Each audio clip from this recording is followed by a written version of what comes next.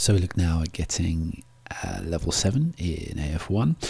So here we're at the top end and the best thing I can say about this is if you have six firm, if you have level six firm, if you've got grasped what we, we discussed in level six, then you're going to move into seven quite comfortably because level seven is basically just an extension of what you did in six. Whereas six from five involved some new skills and five from four involved some new skills. Uh, let's say one to three is kind of developmental, then four is a bit of a break, five is a bit of a break, six is a bit of a break, and then from six onwards, it's like you've got the trajectory now you just have to hone and refine, hone and refine, hone and refine. And you see that actually if we just scroll back up just to see the ones for level six. So level six, imagine the treatment appropriate materials, from your familiarity with conventions, variety forms. And if we come down here, imaginative and generally successful adaptation of a wide range of forms and conventions to suit purpose and audience. So what you're really doing there is here you've got the last part it said not always successful, whereas basically in level seven you are being uh, successful, and that's the main difference. So as you try and do it, you're getting it right rather than getting it. You're getting most of it right rather than getting some of it. Um, some of it right. So basically, what we're looking at you being able to do is change the conventions and the elements as needed. So this is all about control.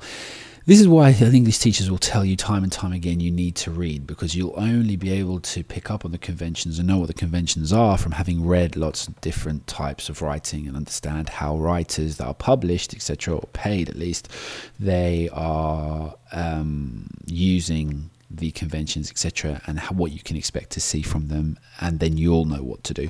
So you'll know how a twist ending, you know, has to be set up. You'll know how a sarcastic piece has to sound.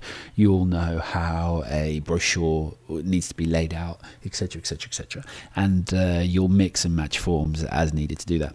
Now you can see why it's quite hard, and probably why not many people try and actually elaborate upon all these is because when you're talking about all different types of writing, it becomes you know you're just incorporating so much. So really, by the time you get to level seven, it's almost like a language in and of itself. You'll either understand what this means or you won't. And if you don't, um, then I'd go back to the five and six videos. Just keep firming them up, firming them up, firming them up. Because all you have to do here for 7.1 is just continue what you were doing for level six, but just be more assured and make sure it can is sustained throughout the the whole piece of work.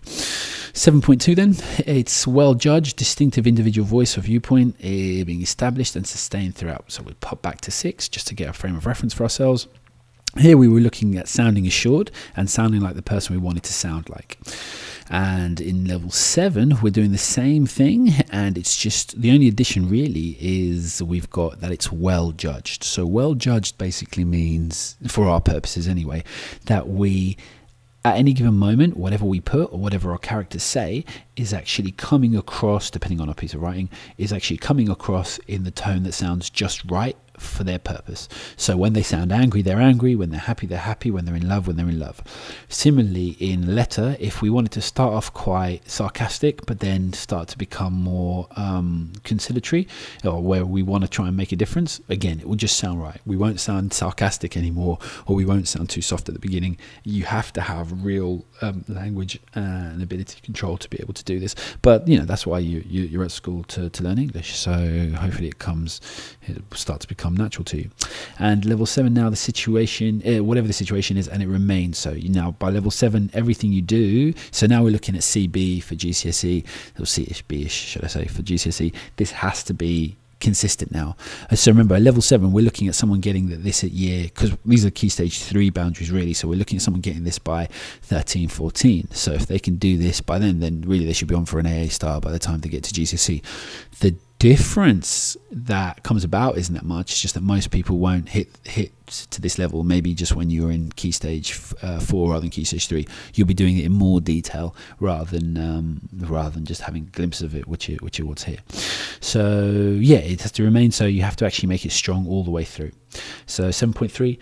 Generally successful and consistent control of appropriate level of formality and a varied range of stylistic devices to achieve the intended effect. Again, we'll pop back to six so you can see it's literally just a development with a few more words of that. And what we were trying to do is just make sure that we were clear with our writing and why and now the only thing we're adding, I, the only thing I can add to this is um, the varied range of stylistic devices. So I'm just going to use a Wikipedia page just to just to emphasize this. Um, really useful page, stylistic devices, just a list of them over here. So you've got the figurative language, and you've got like sound techniques, uh, you've got structural techniques, the use of irony, and the use of register. So a, a mixture from those five, as appropriate, a mixture from those five elements, um, and I'm sure there are more as well a mixture from those five elements will actually allow us to have what we're looking for there, a varied type. Because if you use just one, like say if all of yours are figurative, everything to do with how we're actually trying to see or imagine something, then it's not as strong as if we actually add some uh, sound techniques so we actually get an idea of how we hear it and then how we plot it etc etc etc and you can go through. So try and depending on your type of writing mix and match those. So normally even when I was teaching uh, before and I used to teach you AFOREST that probably had AFOREST was seven or eight different things in there. Now you can see just by looking down this there's probably nearly 20 or 20 well, sorry nearly 20 or 30 in there. So there's many different ways in which you can change it. Um, you won't just be able to look at it and go oh right oh, I'm going to do situational irony. You know, you'd have to stop and really try and see an example of how it was done, etc., before you can replicate it. But uh, it would be well worth doing because that's when your writing is really going to improve. So again, I emphasize it, and even though I'm sure you've heard your English teacher say it a million times, you're really just reading different types of writing, uh, different types of writing, all different types of writing, from speeches to scripts, to biographies, to um, slogans, everything. Just try and read as much as you can just to see how words are used and then play with them.